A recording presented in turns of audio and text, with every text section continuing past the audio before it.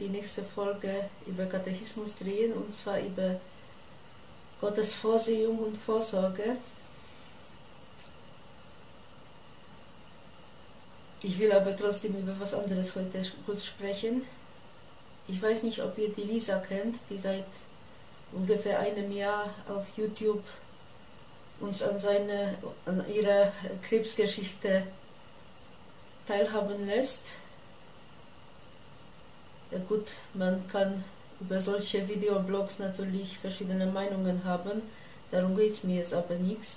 Nicht, äh, Fakt ist, da ist ein junger Mensch, die Lisa ist jetzt glaube ich um die 21 und stirbt an Krebs. Gestern hat sie, wie sie gesagt hat, das letzte Video gepostet mit dem Titel Die Vorbereitung auf den Tod.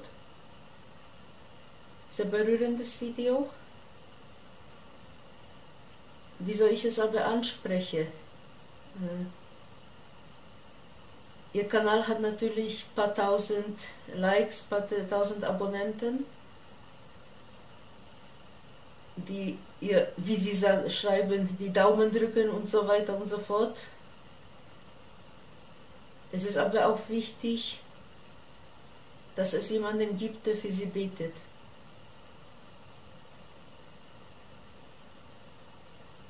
Vielleicht tun es auch einige von denen, die schreiben, ich drücke dir die Daumen, da, das, darüber will ich gar nicht urteilen oder, oder, oder was behaupten. In der Situation ist aber, glaube ich, nie Gebet genug. Also als gläubige Katholiken haben wir die Perspektive, dass es um viel mehr geht als um nur um das Leben hier. Und deswegen bitte ich jeden von euch, der mein Video sieht, zumindest ein kurzes Vaterunser in Ave Maria für die Leser zu beten. Wenn ihr etwas mehr über sie erfahren wollt, werde ich in, in der Beschreibung auch noch ihr letztes Video verlinken.